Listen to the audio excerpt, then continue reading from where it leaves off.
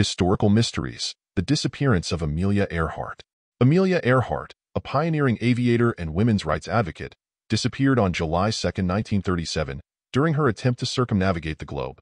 Earhart and her navigator, Fred Noonan, were flying from Papua New Guinea to Howland Island in the Pacific Ocean when they vanished. Despite an extensive search effort led by the United States Navy, neither Earhart nor her plane, a Lockheed Model 10 Electra, were ever found. Numerous theories have been proposed to explain her disappearance, including crash landing at sea, running out of fuel and ditching near an uninhabited island, and even theories involving capture by Japanese forces. Despite decades of speculation and investigation, the fate of Amelia Earhart remains one of aviation's greatest mysteries.